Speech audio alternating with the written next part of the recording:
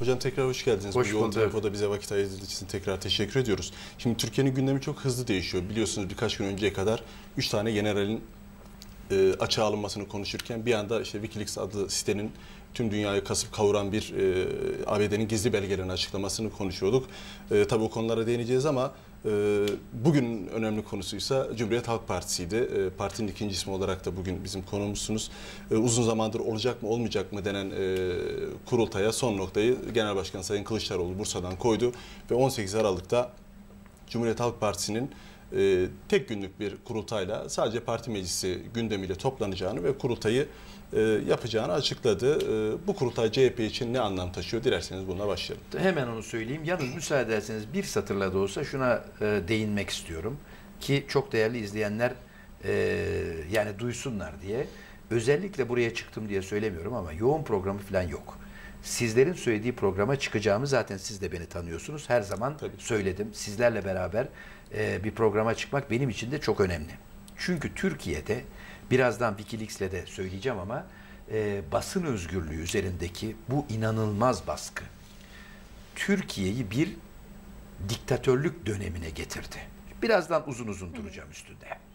Türkiye'yi faşist ülkelerdekine benzer bir yapının içerisine soktu.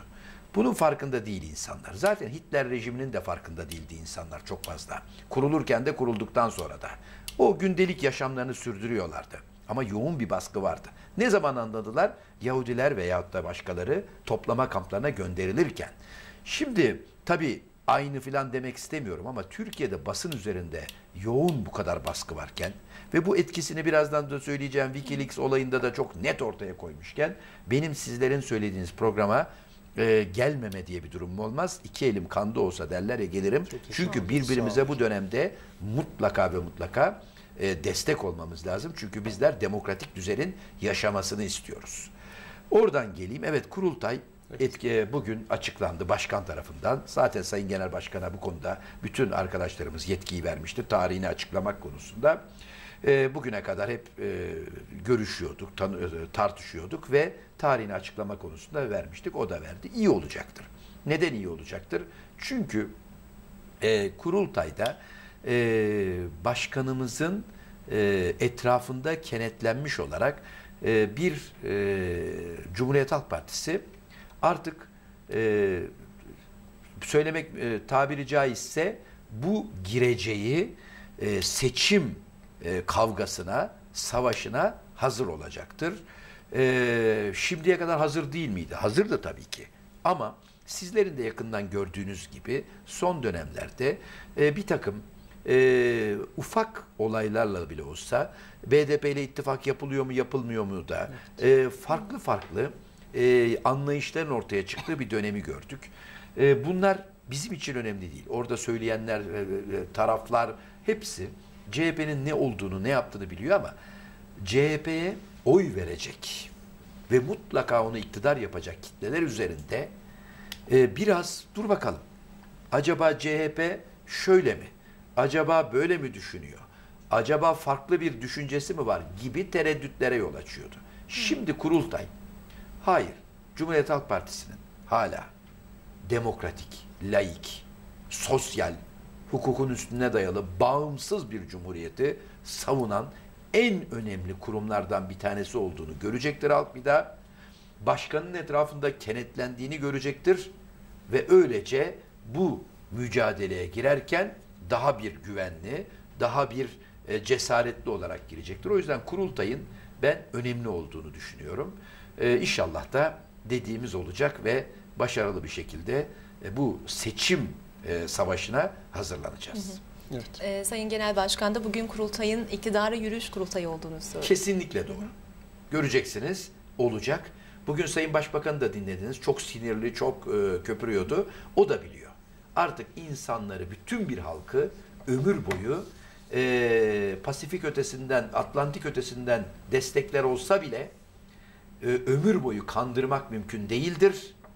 E, o yüzden Sayın Başbakan'ın da bunun bilinci içerisinde bugün e, bir yerlerden yine e, bilmiyorum ne ne açılışıydı evin mutfağını mı açıyordu başka bir şey mi açıyordu bilmiyorum ama Kendi naklen sistemleriyle e, kendi yani, onları e, söylüyordu. Bunların hepsini göreceğiz.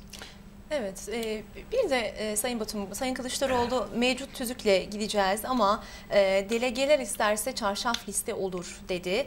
E, yani kararı bu konuda delegeler verecek. E, sizce nasıl şekillenecek parti meclisi? Çok şimdi bizim konu tüzüğümüzde de şu var. e, blok liste var. Blok liste var.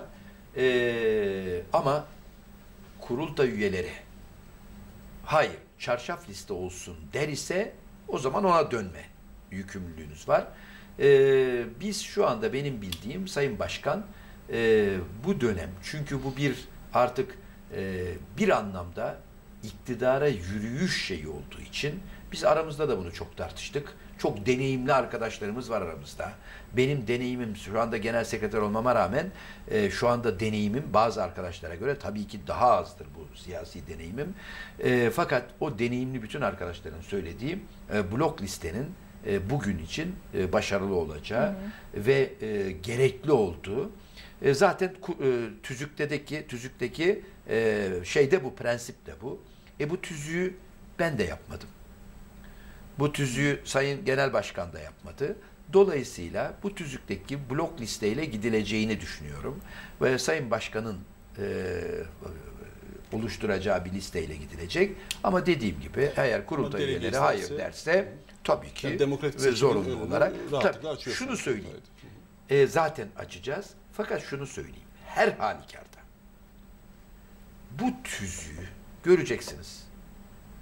Mutlaka değiştireceğiz. İktidar olduğumuzda oh ne güzel iktidar olduk bak deyip bugüne bugün söylediğimiz hiçbir şeyi unutmayacağız. Yani net söylüyoruz. Dokunulmazlıklar kalkacak dediğimiz zaman göreceksiniz. Bu anayasa değişecek dediğimiz zaman göreceksiniz. Biz iktidar gibi sadece iki maddeyi göreceksiniz. Bu e, ön seçim olacak dediğinizde göreceksiniz. Bu tüzük mutlaka demokratikleştireceğiz, göreceksiniz. Ama bunların yolunu açacak dediğim gibi şu anda bu tüzüğü uygulayacağız. Efendim bir günlük kurultay ve parti meclisini Evet tekrar efendim. şekillendirecek ama bir genel başkanlık seçimi gerekli miydi? Yani genel başkanlık için bir seçim yapılacak ama olması gerekiyor muydu sizce? Ee, Bence değildi. Çünkü genel başkanımızın üzerinde e, en ufak bir problem yok. E, yani halkta da zaten yani sadece bu partiler halktan kopuk kuruluşlar olduğu zaman başarılı olamaz zaten. Halktan kopuk değil zaten halkın temsilcisi olarak oradasınız. E halka gittiğiniz zaman sadece parti içinde bakmanız gerekli değil. Bugün çıkın bakkala sorun, e, pazarcıya sorun, esnafa sorun, işçiye sorun, emekliye sorun, kadına sorun. E, Sayın Kılıçdaroğlu'nun etrafında kenetlenmiş bir e, halk tabakasını görüyorsunuz. E, gittiğiniz zaman da görüyorsunuz. Şimdi e, bu nedenle Sayın Genel Başkan'ın kendini tazelemesi, bir daha güven tazelemesi gibi bir şeye gerek yok. Ancak bu halktan kopuk kuruluşlarda olabilir. Dur bakalım bir bakalım diye. Şimdi e, ama parti meclisinin e, bir takım olaylarda gösterdi ki e, bir kez daha güven tazelemesinde e, yarar vardır. Sayın Başkanımız da partinin e, dediğim gibi deneyimli bütün e, politikacıları da bu kanaatteydi. O yüzden parti meclisini e, yeniliyoruz ama genel başkan seçimini yapmıyoruz. Yüksek Disiplin Kurulu seçimini de yapmıyoruz. Parti meclisiyle e, sınırlı kalan bir değişiklik talebi var. Ee, yani tam seçim öncesi yani Haziran ayında seçimler var. Türkiye genel seçime gidiyor. Seçim öncesi e, bu kurultay e, daha da güçlendirecek mi CHP'yi? E, ciddi bir sinerji mi yaratır? Hani bazıları da e, olumsuz eleştirilerle hani e, sıkıntıya sokabileceğini de söylüyorlar ama siz nasıl görüyorsunuz? Şimdi sıkıntıya sokabil, e, sokabilir diye düşünenler var. E, yani ilk başta ben de şöyle düşünüyordum çok açık söyleyeyim. Ben de diyordum ki e, bizden beklenen artık halkın beklediği bir şey şu. Hadi gelin bakalım elimizi tutun yeter artık. Bu iktidar bizi bugüne kadar kandırdı 8 sene. Bu böyle Atlantik ötesinden yapılan bir takım şeylerle e, insan üretmek, parti üretmek ve e, ekonomik sistem üretmek bir yere kadar gelir. Biz 2001 kriziyle bunu yaşadık. Arkadan başımıza. Bunlar geldi. Tarım bitti, hayvancılık bitti, ekonomi bitti, sanayi bitti, işsizlik arttı, istihdam bitti. Hadi geçin artık yeter. Emekli bitti. Ee, geçin bu işi kurtarın. Ee, şeyi vardı beraber el ele gidelim. Fakat çok bazı, çok temel bazı şeyler vardır. Ee, bizim hakikaten el ele olmamız lazım. Türkiye çünkü kim ne derse desin herkes de biliyor. 1990'ların Türkiye'si bile değil artık. Şimdi kim ne derse desin. Gerçekten söylüyorum. Kahvede oturan insan bilgiyi nereden alır? Ya televizyondan alıyor ya da ertesi günü açtığı gazeteden alıyor. Türkiye böyle bir dönem yaşamadı. Böyle bir dönem görmedi hiç.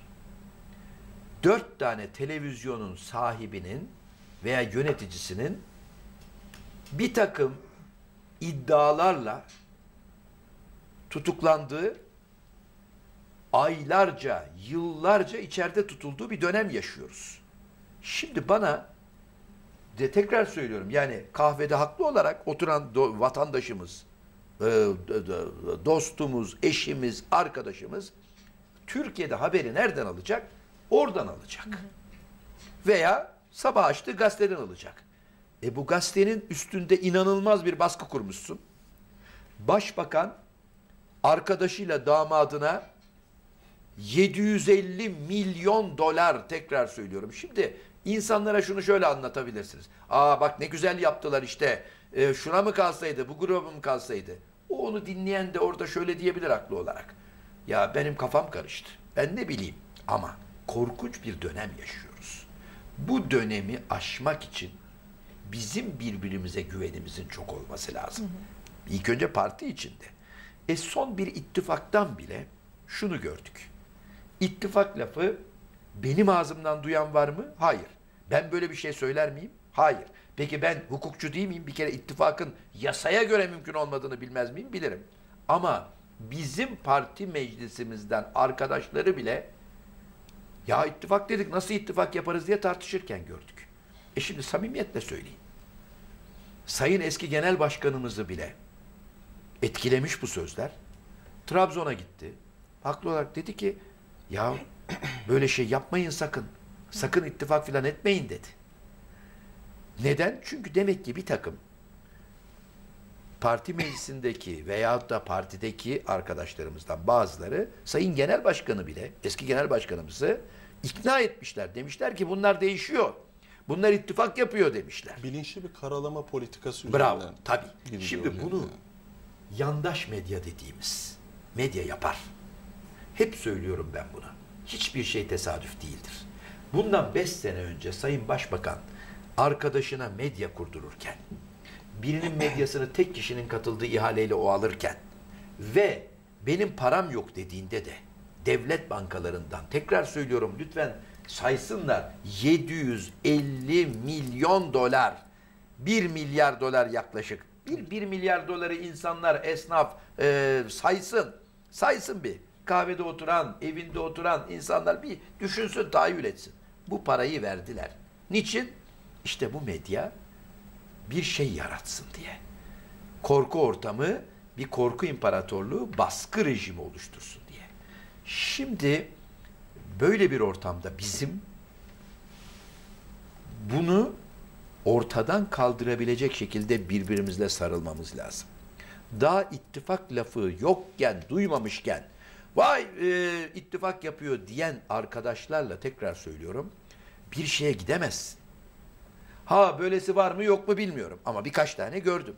Dolayısıyla bir kurultaya gidip tekrar bizim arkadaşlar beraber miyiz? Beraberiz. Yan yana mıyız? Yan yanayız. Birbirimize güveniyor muyuz? Güveniyoruz. Gerçekten güveniyor muyuz? Gerçekten güveniyoruz. Bir daha ittifak lafını duymadan ittifak diyecek miyiz? Diyeceğiz veya demeyeceğiz. Bu tazelemeyi yapmamızda yarar var. Çünkü gerçekten güç bir ortamdan e, ortamdan iktidar yaratacağız. İnsanlara güven vereceğiz.